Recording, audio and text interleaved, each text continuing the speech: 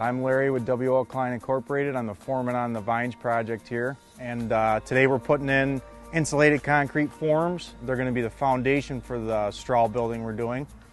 And uh, basically, these foam forms sit on top of our footer, which is the main foundation for the house. You stack them in, they interlock almost like Lego blocks. And then they have these internal support webs inside that you slide in. And this is where all your rebar attaches. Depending on the building design, this particular building's designed for one rebar every other course of block. And these foam blocks have these little strips inside of them. You can see on the inside here, these little black strips.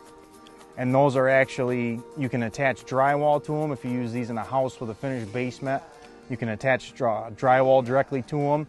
We're using them for the support system for our bracing for the walls and our scaffold support. And the old way of doing concrete walls was using like, um, they call them like Symons panels or wooden panels for forms. You have to set them, then after you pour, you have to strip them, clean them, and then you end up going back and putting styrofoam insulation on the foundation anyway. And with this system, once you set them, they're done. You don't have to pull them back off, and all your installation's already complete. So once you pour it, you can actually just backfill the foundation and you're done. Any of the suppliers that sell these, they give you like instructional courses, you can get certified in them. They're actually pretty simple. You start in your corners and you work towards the middle. You put your cut piece in the middle, and then once you get one row done, you attach your rebar as needed. And then you go back, set your next course, work towards the middle, put your piece in the middle.